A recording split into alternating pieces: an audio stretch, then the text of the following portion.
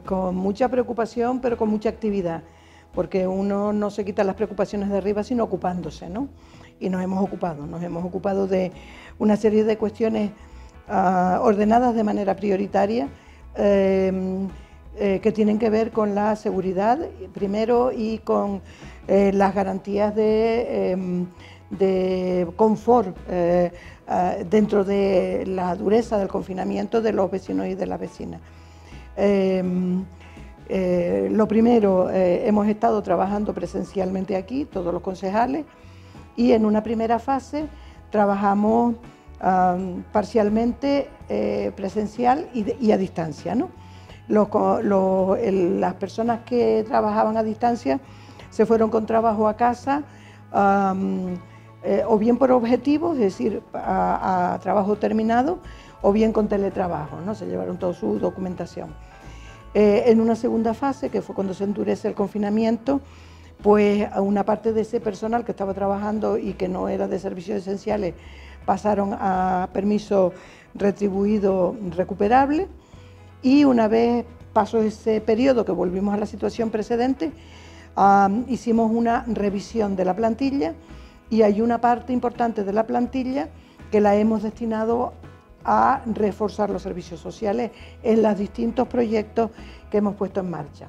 Hemos puesto en marcha un, eh, eh, proyecto comunitario que llamamos La Colmena, y lo llamamos la colmena porque cada celda implica un, proyecto distinto de atención a las personas, porque en este momento lo prioritario son las personas, y entonces eh, empieza por la seguridad personal y por la atención a los eh, suministros básicos, que eh, tiene dos celdas, una de ellas es cocina sobre ruedas, donde una parte del personal municipal, una cocinera y dos personas auxiliares que tienen manipulador de alimentos conforman una pequeña plantilla eh, para hacer de comer para todas las eh, para, para las familias vulnerables. ¿Qué son familias vulnerables para nosotros? Pues hay dos tipos. O mm, familias monomarentales que quedaron fuera del programa de la consejería de eh, comedores cuota cero, pues por un error de cómputo. Y eh, por otro lado tenemos sobre todo personas mayores o discapacitadas que están en su domicilio confinadas y que constituyen un grupo de riesgo porque en muchas ocasiones la seguridad propia a la hora de cocinar los alimentos o incluso de su propia estabilidad pues nos hacía preocuparnos mucho. A esas personas se les está llevando todos los días eh, un menú que abarca eh, almuerzo y cena, con un doble objetivo, garantizar eh, la comida diaria de esas personas y también que reciban una visita todos los días, de manera que si tuvieran alguna otra necesidad, a un, grupo de voluntarios que tenemos también configurado a tal fin, le puedan acercar a su casa esos suministros básicos, sea de farmacia o sea de, em, de aprovisionamiento. ¿no?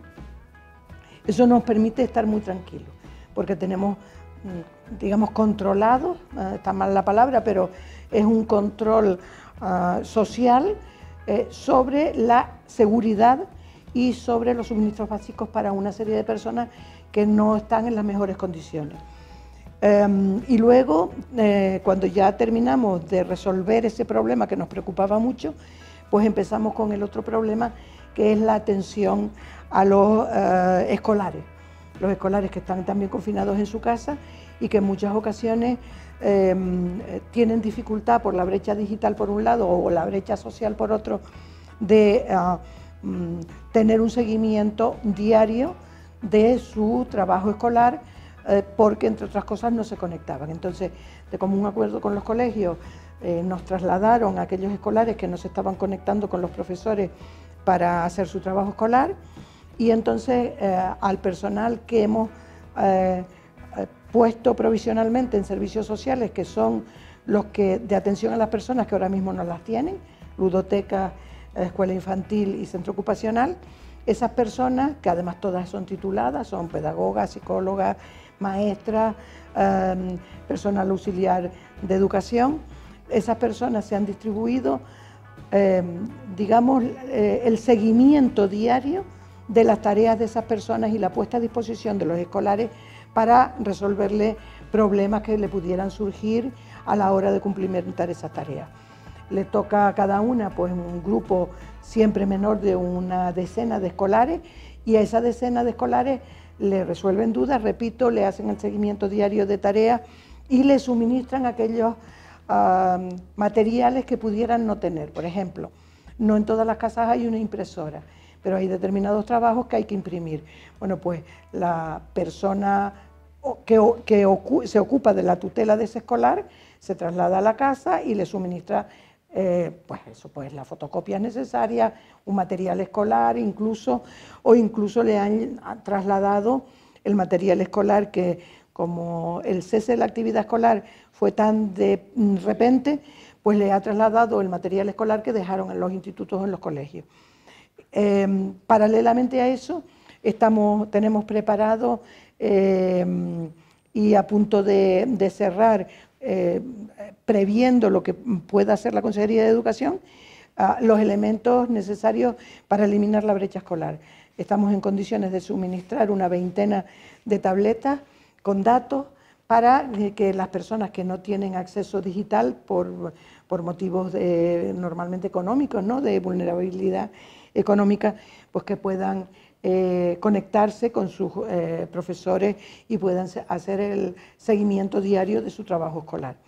Entonces, digamos, estamos ah, en este momento en condiciones de tener un mapa bastante completo de las necesidades básicas del municipio ah, y también el seguimiento de las pocas personas que hemos tenido eh, pues con algún tipo de problema con respecto a esta enfermedad. Hemos tenido eh, cuatro personas en cuarentena después de regresar de un viaje de la tercera edad, que afortunadamente pasaron la cuarentena sin tener síntomas y, están dadas de alta. Y tuvimos cuatro personas diagnosticadas, de las que dos ya están dadas de alta, dos permanecen en su casa, pero esas cuatro personas no están en el municipio, son eh, residentes ausentes porque están eh, recibiendo su atención médica en algún otro municipio que no sabemos porque los datos no nos los han trasladado. Por tanto, yo creo que en este momento, al menos la seguridad de que las personas están um, en condiciones, uh, digamos, correctas y a salvo y con su, confort eh, asegurado, ya eso lo tenemos. Paralelamente a eso hemos extremado las medidas de higiene del municipio tanto en el sentido de las vías públicas como en los edificios. Al estar ahora los edificios sin uso, hemos eh, hecho un trabajo de higienización profunda y de eh, asepsia, ¿no? de garantizar la asepsia, la, em, el, que esos edificios en su momento estén en condiciones idóneas para recibir a sus usuarios. Y también lo hemos hecho eh, con las calles del municipio no directamente el ayuntamiento, pero sí la mancomunidad eh, que tenemos con, eh, la, que tenemos con el ayuntamiento de La Guancha. Y, bueno, pues mm, eh, realmente a día de hoy, 40 días después de comenzar esta, este confinamiento, yo creo que se están atendiendo bien a todos los vecinos, creo que hemos garantizado la limpieza em, y que, mm, bueno, pues todas las personas tengan seguridad al transitar tanto edificios públicos como las vías públicas. Y, em, bueno, y, además todo esto ha sido facilitado de manera especial por ah, nuestros vecinos. Nosotros tenemos unos vecinos que son bastante disciplinados y han seguido mucho, mucho las recomendaciones de, confinamiento. Pero también hay que decir que el confinamiento en las zonas rurales es menos confinamiento que en las urbanas porque el que más, el que menos tiene una huerta al lado de la casa o tiene pues una huerta de papas que tiene que ir a atender y eso le da mucho respiro a las personas. No es lo mismo estar confinado y sin poder salir en un piso de 60 metros cuadrados que tener una casa rural que tiene una huerta a lo mejor al lado o si no exactamente al lado tiene una huerta a donde ir a coger una lechuga. No, no tiene nada que ver. Por tanto, como cada crisis trae una oportunidad, La oportunidad en este caso es eh, valorar profundamente el vivir en un entorno rural, que para algunas cosas es muy malo, por ejemplo, lejanía de centros de salud o, de mm, determinados eventos culturales, eso que siempre echamos en falta, pero después para otras cosas es extraordinario porque es una garantía de salud. Sí ha habido sanciones, pero mm, porque hay personas... No, la mayor parte de las sanciones son personas de otros municipios que salen a pasear y que dan unas, sí, que dan unas excusas raras, ¿no? ¿Y sí, sí, un señor, por ejemplo, de un municipio de la zona de Acentejo, que lo coge la policía y dice que venía a probar el coche para que no se le para que el coche no se le estropeara y no a hacerse un paseíto. Pues cosas de ese tipo porque al final no tienen excusa, ¿no? Pero mm, nosotros tenemos también algunos eh, vecinos sancionados porque en muchas ocasiones, pues, bueno, pues también a veces la gente siendo muy disciplinada, en general siempre hay excepciones y esas excepciones confirman la regla, ¿no? Entonces, sí hay que agradecerle a los vecinos que hayan sido tan, tan ah, prudentes, porque en la gran mayoría de los casos, incluso para hacer actividades autorizadas, como por ejemplo ir a, atender sus cultivos, pues piden permiso. Y eso es maravilloso, sí. Bueno, nosotros ahora mismo no hemos hecho cambios aún del presupuesto municipal, porque lo que estamos intentando es esperar al máximo para ver qué ocurre con el remanente que tenemos del año pasado, eh, la decisión del Estado. ¿no? Que hay de nosotros tenemos pues alrededor de 900.000 euros, algunos de, de, esa parte, hay parte esto ya comprometido porque son obras que vienen de, años anteriores y que nosotros tenemos que reponer el dinero el 10% o el, depende del programa hasta un 45% de alguna obra que está pendiente de ejecutar y que nosotros estamos comprometidos a poner el dinero. Entonces, ese remanente estamos pendientes de que nos digan qué podemos hacer. Eh, parece ser que, que, hay bastantes garantías de que nos van a dejar utilizarlo, Ah, pero en principio todos los gastos que hemos hecho, por ejemplo, con comida sobre ruedas o con otros programas, em, eh, tienen cobertura dentro del 20% de ese remanente que deja el Estado utilizar a las eh, entidades locales. Y por otro lado, em, en algún caso, eh, esos propios proyectos, concretamente Comida sobre Ruedas, que ha sido un proyecto muy, muy entendido y muy valorado por nuestros propios vecinos, en este momento tenemos vecinos que están haciendo donaciones económicas o, en especie. ¿no?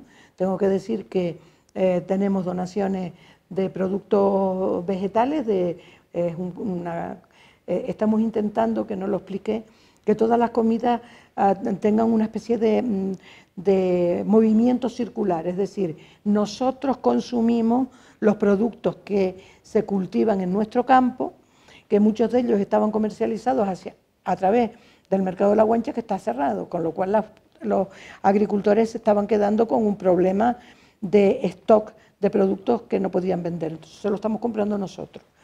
Y en algunos casos parte de ese producto nos, es regalado por algunas empresas. Y luego, por otro lado, pues las donaciones económicas en metálico.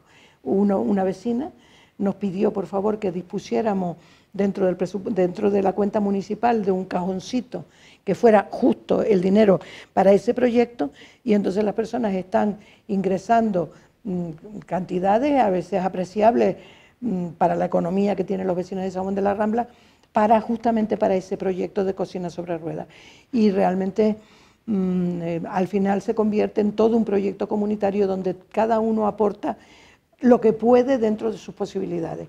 Es un proyecto muy satisfactorio, no solo para mí que lo cuento y que de alguna manera lo hemos pergeñado en equipo y tal, sino para las propias personas que están colaborando. Yo, mm, en muchas ocasiones la, alegría más verdadera es ayudar a los otros y se ve en el personal. Eh, hay que ver el cariño que le ponen a cada una de las comidas que elaboran se están elaborando, hay días que la comida parece, el postre de hoy, por ejemplo, parece que es el postre de una boda, porque no solo es bueno, sino que está adornado, y tú dices, detrás de esto hay mucho cariño, detrás de esto hay realmente amor por la otra persona, por mi vecino al que estoy intentando ayudar o estamos entre todos intentando ayudar. Yo creo que sí, yo creo que mm, Eh, decía mi abuela, las caras nos vemos, los corazones no. Pero esta crisis ha puesto en evidencia los corazones, aunque no nos veamos por el confinamiento. Por tanto, ahora mismo lo que se está viendo es el corazón de cada quien. Y yo tengo que decir que estoy muy satisfecha del corazón de los vecinos de San Juan de la Rambla, porque es un corazón solidario y un corazón comunitario, ¿no? de búsqueda del bienestar, no solo de sí mismo, sino del vecino de al lado. Eso, eso es impagable, eso no tiene, es indescriptible e impagable. Realmente mi agradecimiento a todos y a todos los que han colaborado de alguna manera y siguen colaborando no solo con estos proyectos, sino con la atención a su vecino para hacerle pues el mandado o, lo que sea. No, no, no tengo palabras, vaya. Yo estoy muy disgustada con ese tema. Yo miro para Portugal con una envidia terrible, ¿no? Porque eh, la situación es completamente distinta. Hay un gobierno que está echando para adelante con una crisis similar a la nuestra, pero la oposición se ha puesto a disposición y dice, la suerte de ustedes es la suerte de mi país, por tanto es mi suerte también. Eh, Ramón Rubial, que fue un presidente del Partido Socialista muy querido por mí, tiene una frase magistral. Decía, primero España, después el partido y después los intereses individuales. Y si eso es importante siempre, es mucho más importante en momentos de crisis. Primero España, primero los vecinos, primero la población. Y después ya, cuando yo quiero hacer política partidaria, habrá otro momento, no ahora. Es decir, yo lo que le hubiera agradecido a estos partidos que se muestran tan críticos en el momento más imprudente es que se hubieran puesto a disposición, que se pongan a trabajar. Yo siempre le pregunto a cualquiera de esas personas críticas, ¿qué has hecho tú hoy por tus vecinos, por tu país, por esta crisis, por resolver esta crisis. Eh, o sea, estás haciendo lo contrario de los sanitarios, estás haciendo lo contrario de la policía, estás haciendo lo contrario de las personas que están al pie del cañón, empleados de supermercados, em, personas que están al servicio de sus ah, convecinos, estás haciendo todo lo contrario. Todos los servicios esenciales están ahí a una haciéndolo. Ustedes, los medios de comunicación, a una haciendo su trabajo por el bien del país. ¿Y qué es lo, mínimo que se le pediría? Oiga, colabore y haga su listita de agravios, hágala. Cuando pase esto, usted saca la lista de agravios y pide cuentas, pero ahora no, no es el momento. Yo tengo que confesar que estoy profundamente disgustada por ver, por ejemplo, eh, eh, cada una de las corporacencias en que se convierte. Eh, yo no quiero calificar, no quiero, no quiero, dar descalificativos, pero a mí se me ocurre eh, decirlo en positivo. Yo de un político ahora espero decencia, decencia y colaboración. Todo lo demás no es ser político, por lo menos no es servir al país. Miles, miles, pero solo se equivoca quien actúa.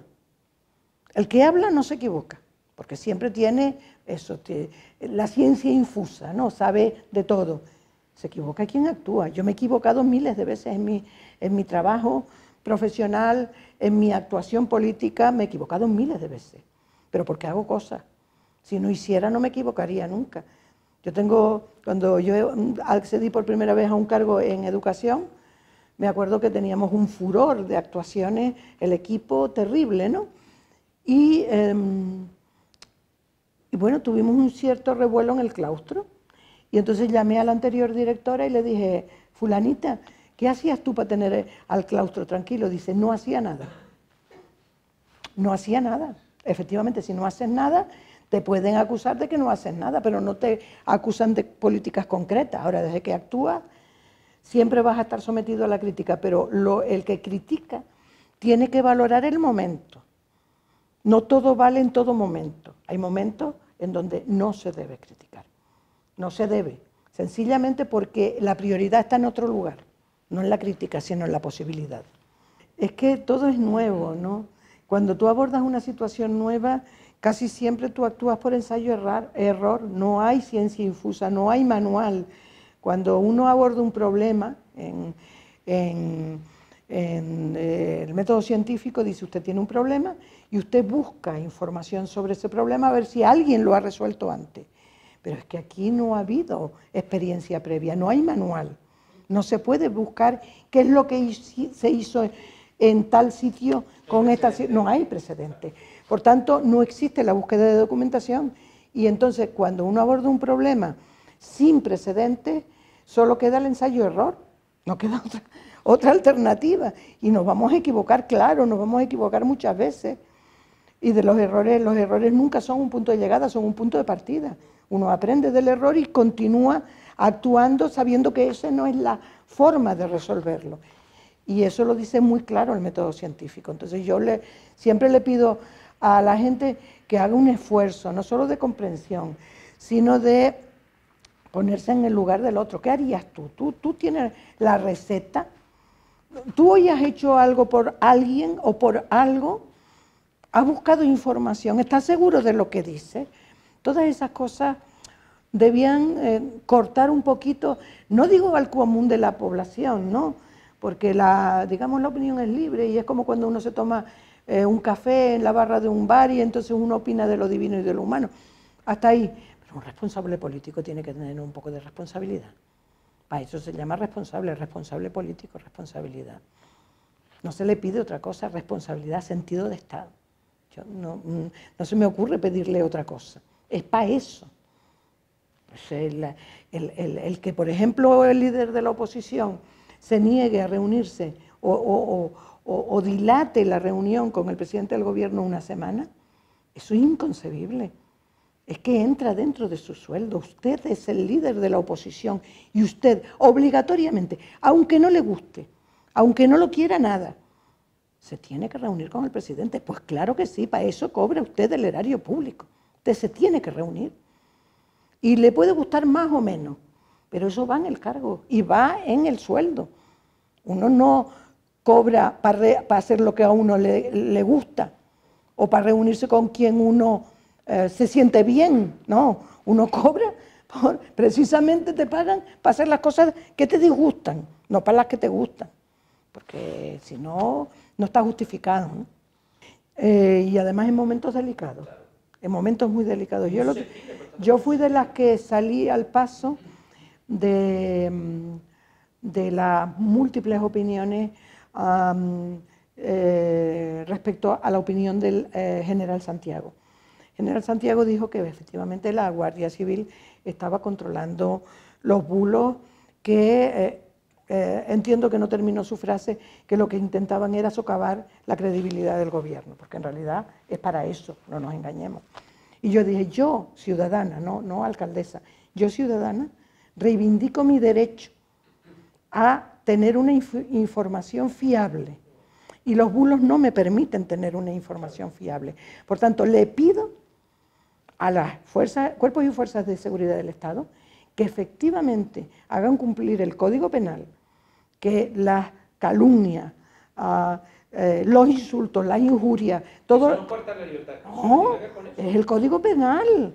No tiene nada que ver, es que la gente confunde libertad de expresión con libertad de información. Yo, tengo, yo, yo quiero que la persona que me informe, me informe bien. Que me informe bien, que no me mienta. Y después opinar, puede opinar lo que me gusta, no me gusta y tal. Pero opinar no quiere decir eh, eh, insultar, no quiere decir mentir para sacar rédito, no, porque eso nos pone a todos en una situación muy vulnerable. Y lo explico más claro. lo primero de todo es la salud. El derecho de las personas es el derecho a la salud. Todos los sanitarios están luchando por el derecho a la salud. Todos nos descubrimos ante la, clase médica y sanitaria y todos los empleos que están alrededor de los hospitales y del servicio eh, de salud. Pero hay una salud mucho más importante en este momento tan duro del confinamiento, que es la salud mental. Si a mí me miente y el bulo es muy gordo y dicen cosas tan gordas como se han oído decir, como que, eh, no sé, que lo acaba de desmentir las gerentes de los dos hospitales de referencia, que no hay material suficiente para garantizar la seguridad de los sanitarios, me estás poniendo a mí en una situación de vulnerabilidad me estás metiendo el miedo en el cuerpo y tú no tienes derecho a jugar con mi salud mental, no tienes derecho. Y en este momento muchos bulos van a socavar la estabilidad de las personas que están dentro de su casa. Y es muy gordo, ¿eh? porque estamos jugando con la salud mental, que ya está tocada por una situación anormal, eh, o dos situaciones anormales, una confinamiento, otra el miedo a la enfermedad, obviamente, y la siguiente es el miedo a cómo voy a sobrevivir en esta crisis económica que se nos avecina. Y encima tú me vas a mentir. Es que debería aplicarse con todo el peso de la ley a las personas que emiten bulos o que mienten, eh, porque lo que generan es una ansiedad eh, em, añadida al propio hecho que está ocurriendo. No puede ser. Y yo en aquel momento dije, no, yo reivindico mi derecho como ciudadana a que la información sea fiable, que no me mientan y que mantengan tranquilos, sin mentiras, con información como se está dando todos los días, con múltiples ruedas de prensa de todo tipo, eh, son hasta excesivas, y que la gente se informe y que se den los datos. Yo, por ejemplo, le agradezco al Servicio Canario de Salud que nos haya empezado a dar los, números de los municipios, porque con los números se estaba jugando. Yo ahora puedo decir que aquí había, hay cuatro personas afectadas. ¿Pero es fiable esas listas que están sacando? Sí, claro, la del Servicio Canario de Salud, sí, porque además lo, lo ponen muy claro, porque no han sido capaces de, darla, de dar un pasito más. Por ejemplo, se sabe que las cuatro personas afectadas de San Juan de la Rambla son personas cuyas cartillas sanitarias están ubicadas aquí, pero su tratamiento está siendo seguido en otro municipio. Por eso yo los llamo residentes ausentes. Entonces, claro, ese número ya nos tranquiliza, porque si no, la gente podía decir, pues no, es que en San Juan de la Rambla hay 50 personas afectadas, con lo cual se incrementa el miedo. No, no, no hay 50 personas. Tenemos cuatro fuera del municipio, afortunadamente, y... Em, y bueno, tenemos también cosas que nos han ayudado a que eso sea así. Tenemos una residencia de la tercera edad em, que está impecable, que ha recibido incluso la felicitación de, las distintas inspecciones de sanidad que han venido. Y claro, sabemos que afecta más este virus a las personas mayores. Eh, hay municipios que tienen números peores, pero claro, porque les ha tocado de lleno dentro de una residencia. Nosotros tenemos la gran suerte de que nuestra residencia está impecable. Por tanto, mm, es una tranquilidad, ¿no?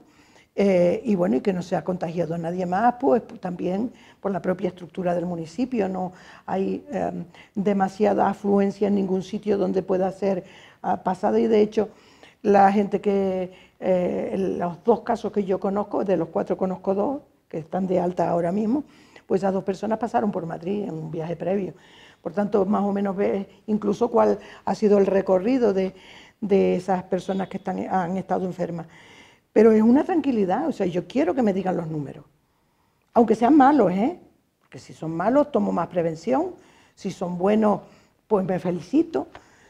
Pero lo peor de todo es la mentira, el bulo, el, crear una alarma injustificada. Y yo no se los perdono. Eh, Puedo entender, ya digo, hasta el, ciudadano de a pie, pero un político, que para sacar rédito político mienta y, enarbole bulos y, largue bulos, creando una ansiedad y una desazón entre eh, la población. Es que como yo ahora mismo, como ciudadana, pero sobre todo como responsable público, no se los perdono, no se los perdono. Sí, el mensaje de positividad es que tenemos mm, un pueblo, el tinerfeño, para sentirse absolutamente orgulloso de ese pueblo.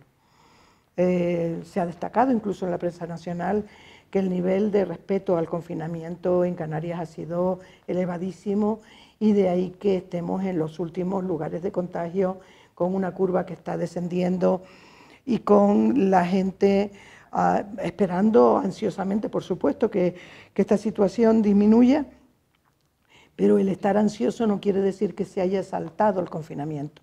Por tanto, ese mensaje de, positividad incluye la felicitación a, todos esos tinerfeños y tinerfeñas que han cumplido con su obligación, que han estado ah, siempre pendientes de seguir las indicaciones de las autoridades, a todos los cuerpos y fuerzas de seguridad, a todo el personal sanitario, a todo el personal esencial.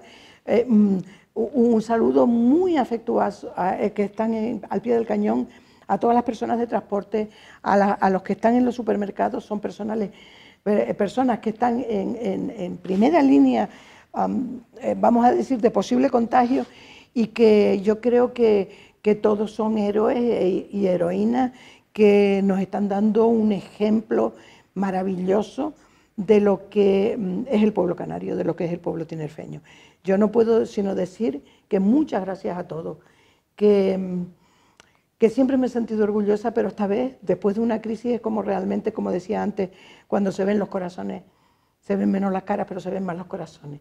Y el corazón canario, el corazón tinerfeño, el corazón ramblero es un gran corazón que late y late de manera comunitaria por sus vecinos y por el bienestar de todos. Y ojalá muchos políticos tomáramos ejemplo de esas personas de a pie que están en el día, en el día a día. Ojalá muchos políticos.